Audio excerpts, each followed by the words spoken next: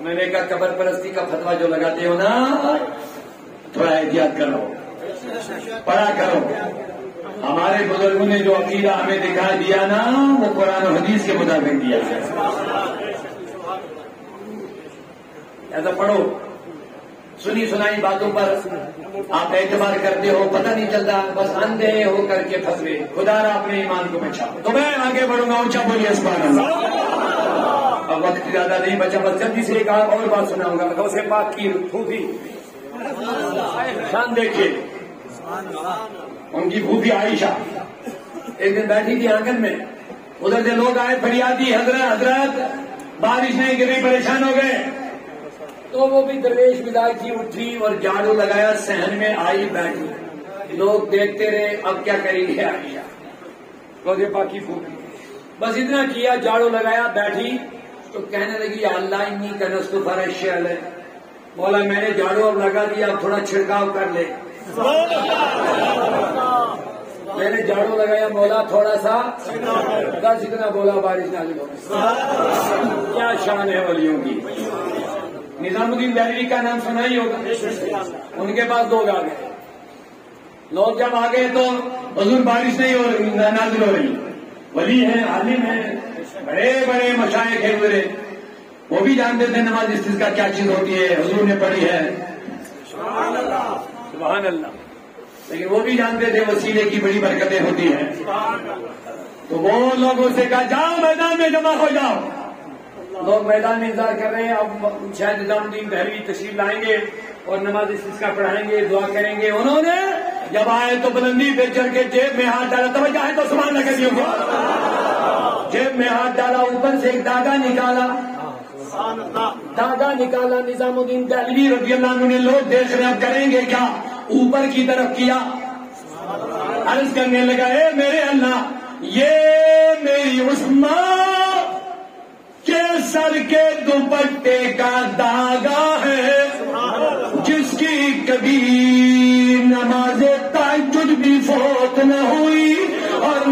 جی، غیر مرد نے اس کو دیکھا۔ مانا اس داغے کا واسطہ پانی نازل کر لے بارش۔ فرماتے، ابھی داغا نیچے بھی نہیں آیا تھا، بارش نازل ہو گئی۔ کیا شان والے۔ ہیں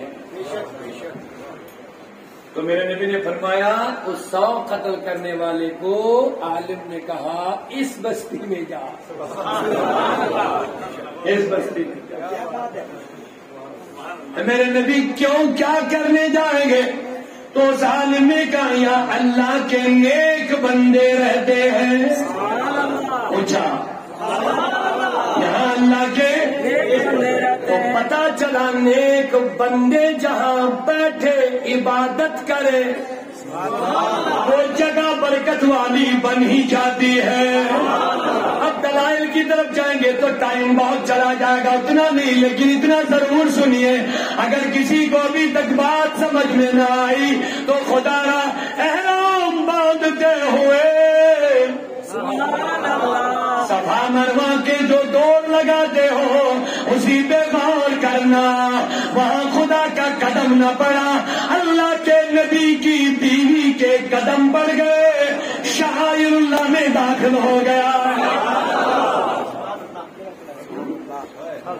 شاعر اللہ میں داخل ہو گیا۔ جو اللہ کی نشانیوں کا احترام کرے، یہ دلوں کے تقوی سے ہوتا ہے۔ تو میں اب حدیث کو کنکلوڈ کرنا چاہوں گا، بس اتنا جا رہا ہوں اچھا بولیے ذرا۔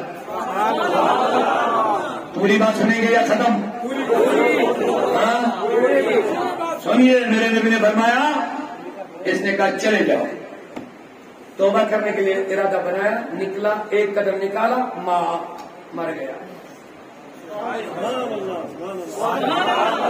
جہاں تھا، وہاں سے ایک قدم اٹھایا ماں مودا رہی مو اچھا اب سنیے، بڑی گاڑی میرے نبی نے فرمایا، جہنم کے فرشتے آئے۔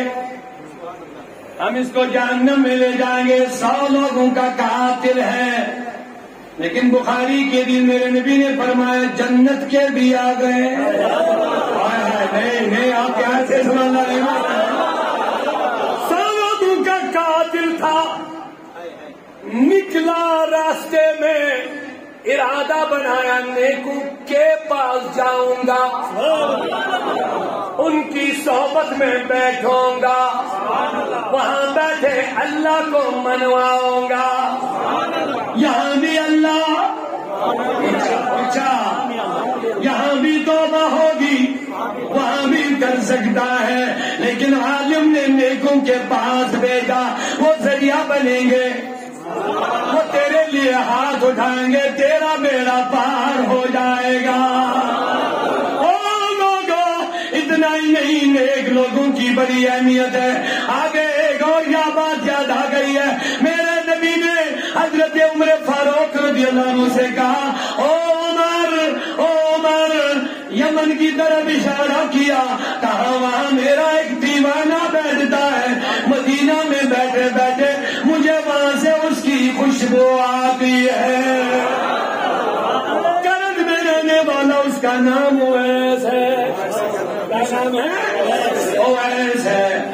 آقا نے اپنا جبا نکالا۔ مرما لے جا کے اویس کو دینا۔ اور کہنا، نبی نے کہا، میری امت کے لیے دعا کرنا۔ سنیے، بزرگوں کا کیا مقام ہے؟ اور ہمیں بزرگوں سے کاٹا جا رہا ہے مجھے اسے دور کیا جا رہا ہے۔ بڑی بد نصیبی ہے تم یاد رکھ لیجیے اولیاء اللہ سے جڑے رہو، دین انہوں نے دیا ہے، قرآن انہوں نے سمجھایا ہے۔ اللہ کے ساتھ جوڑنا، رشتہ تو ان کے ساتھ جڑ جاؤ، یہ سیدھے تمہیں رب سے ملانے والے ہیں۔ پوری دنیا میں دیکھیے، مصطفیٰ ہر جگہ نہیں گئے، صحابہ ہر جگہ نہیں گئے۔ پوری دنیا میں جو اسلام کا چراغ روشن کیا، وہ اللہ کے ولیوں ہی نے پہنچایا۔ آج ہم جو کلمہ پڑھتے ہیں نا، یہ سید بلبل شاہ صاحب اور امیر کبیر کا احسان ہے ہمارے اور بڑی افسوس ہے مجھے کہنا جن ولیوں نے ہمیں اللہ سے جوڑ دیا، ہم انہیں سے کٹ رہے ہیں۔ ان کے درباروں سے جڑے رہو، یہی اللہ کے دربار مولانا نے فرمایا، ہر کے خواہد ہم نشین با خدا جو چاہتا میں اللہ کی بارگاہ میں بیٹھوں گا۔ اللہ کسی جگہ نہیں بیٹھتا کہ تو جا کے اس کے پاس بیٹھے گا۔ نہیں، جو چاہتا میں اللہ کے پاس بیٹھوں گا، ہر کے خواہد ہم نشین با خدا او نشین در حضور اولیاء۔ مولانا فرماتے ہیں، جو چاہتا میں اللہ کے پاس بیٹھوں اسے چاہے کہ وہ کسی اللہ کے ولی کے پاس بیٹھے یہی اللہ کا دربار ہوتا ہے۔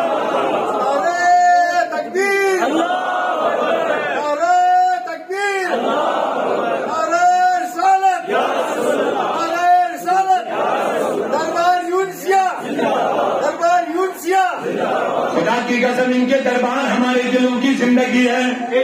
ولیوں کی محبت ہمارے دلوں کی زندگی ہے۔ ولیوں سے جوڑ ہمارے روحانی پاور کا ذریعہ ہے۔ بولیے سبحان اللہ۔ موسا کلی سے کہا گیا، جاؤ ادھر مل اللہ اس کے بندے سے۔ جہاں وہ بیٹھتا ہے، جاؤ وہاں میں جاؤ۔ گیا، مچھلی تیار کر لی، پکی کائی مچھلی لے لی اپنے ساتھ۔ یوشا بن نور خادم ساتھ ہے اپنے سامان میں مچھلی اٹھائی، قرآن سورہ کہا پڑھیں گے، پورا واقعہ سنانے کا موقع نہیں ہے۔ گئے، آگے بڑے ایک جگہ حضرت موسیٰ نے تشریف رکھا، کہا، میرے خادم یونو چوشا، بھوک لگ گئی، تھکان آگے ذرا کھانا لاؤ۔ اس نے کہا او یونو موسا میں تو بھول ہی گیا۔ کہا، کیا بھول گیا؟ کہا، وہ جو پکی تلی تیار کی ہوئی مچھلیاں اپنے گھر سے لائی نا ادھر جو ہم ایک جگہ بیٹھے تھے تھوڑی دیر کے لیے وہاں سے تھوڑا ریسٹ ہم نے کیا ادھر آ کے ہم بیٹھ گئے اصل میں لیکن وہیں وہ مچھلی زندہ ہو کے پانی میں چلنے لگی یہ قرآن میں نے سنا علماء بیٹھے یہ قرآن ہے۔ وہاں وہ زندہ ہو گئے۔ اچھا فرمایا تم نے مجھے کیوں نہیں بولا؟ وہی تو ہماری منزل ہے۔ وہی ہماری منزل ہے۔